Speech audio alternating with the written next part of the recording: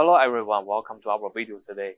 I'm going to introduce the new products on my right hand. These ice makers, they can produce about like a 219 pounds per 24 hours. And let me give you the overall dimensions of the unit. For the length of the unit is about like a 26 inches wide. And the depth of the unit and overall is about like a 26 and a half inches and the height of the unit is about like a 39 inches tall. As we can see, the unit is entirely the major body is made by the stainless steels and coming with a, a plastic lid at the front. You can pull it up. They have a tray to screw in, and we can see the inner side. They have a small container space for storing a couple of the ice, and also the manufacturer give you a spoon for you to just collect all the ice you need. And also they do have a couple accessories. There's a pipe connections and they can see the gaskets right here.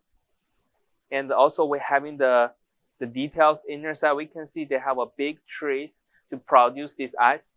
They're making the cubic ice. Uh, looking the side of the units, we can see they do have the ETL sanitation stickers on. Also, they do have the manufacturer cut sheets informations. They're using the Freon is R290 and they, they give you the information using the 110 powers and about like 526 watts. And also look in the front, we can see the units coming with the big grills at the front. They cover the compressor systems at the bottoms. And also they do having the digital displays right here. They give a couple functions and the menus right here. You can adjust and setting this ice maker to produce ice or pause the works. And we will close it. We can see the bottoms.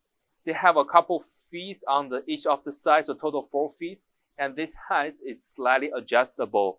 So let's turn around to see the back of the units. And when we look in the back of the units, we can see they do have a QR code with the serial numbers for the faster service. And they give you the notifications warning here.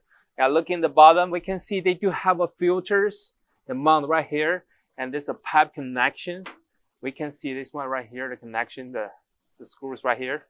And also they do using the 110 plugs, standard one from the manufacturers. And this is a down pipes to uh, drain the, all the waters out. And uh, we can see the, the coppers inside, the mount with the, the compressor system too. So that's what be the all demonstration information about these products. And if you do have more questions, feel free to contact with us.